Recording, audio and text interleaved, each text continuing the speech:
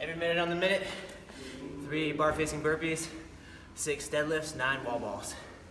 14 minutes. Just get it done. All right.